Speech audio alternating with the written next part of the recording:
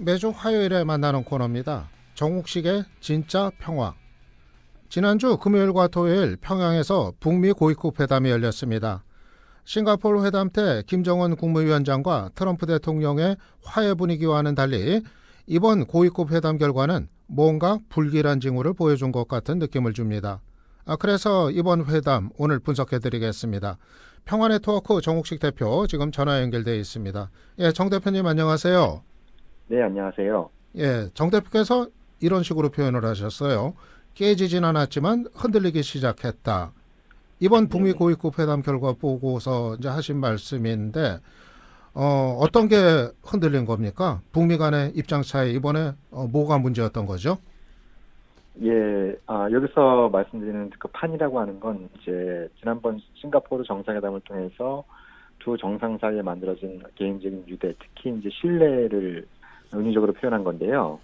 아, 근데 그런 어떤 신뢰가 깨지진 않았지만 이번 고위급 회담에서 안타깝게도 그 지금 신뢰가 흔들리고 있는 징후가 보이지 않았나 해서 쓴 표현이고요. 예.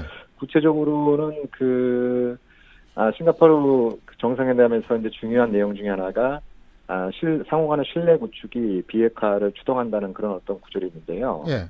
아, 그렇지만 이번에는 그 폼페이오 국무장관은 주로 아, 북한 측 관심사에 대해서 이렇다 할 답변을 내놓지 않은 상태에서 비핵화 문제에만 좀 몰아붙인 이런 어떤 측면들이 있고 그에 대해서 북한은 굉장히 큰 기대를 하고 있었지만 아, 이제 폼페이오 장관이 일방적이고 강도적인 요구만 늘어나왔다 이렇게 굉장히 좀 폄하하는 그런 어떤 논평도 내놓게 있습니다. 예.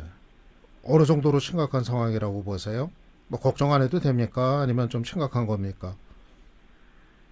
어, 그러니까 가장 제가 걱정스러운 부분은 어떤 구체적인 강론에 있어서 이견이 드러났다기보다는 어떤 그 문제 해결의 근본적인 방식을 둘러싸고 이견이 드러난 것이 아닌가 하는 생각이 드는데요.